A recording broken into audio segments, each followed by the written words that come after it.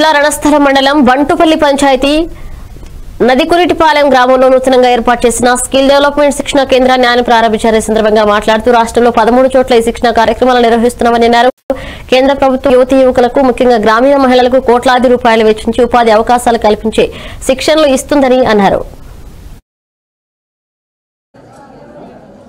జై శ్రీరామ్.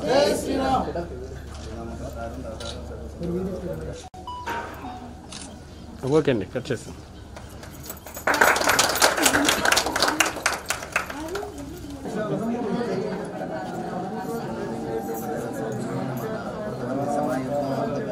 ఇంజనీర్ గారికి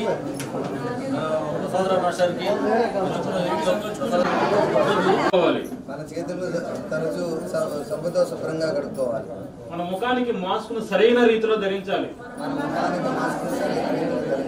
ఇతరులతో సురక్షిత దూరాన్ని పాటించాలి. ఇతరులతో యూనియన్ బ్యాంకు ఆర్ఎస్ఈబి తరఫున వాళ్ళు పదిహేను వందల రూపాయలు కూడా పెట్టి మనం మీకందరికీ కూడా మెసేజ్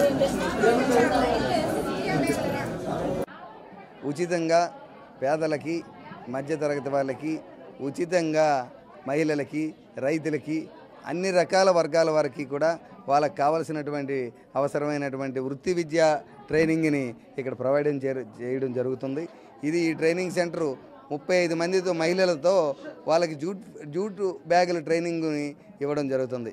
ఈ ట్రైనింగ్ ముప్పై ఐదు రోజుల పూర్తి అయిపోయిన తర్వాత అర్హులందరికీ కూడా ఫిఫ్టీ పర్సెంట్ కన్స్ట్రక్షన్తో ఇక్కడ వాళ్ళకి అవసరమైన సూ మిషన్ సూయింగ్ మిషన్స్ని ప్రొవైడ్ చేస్తామండి.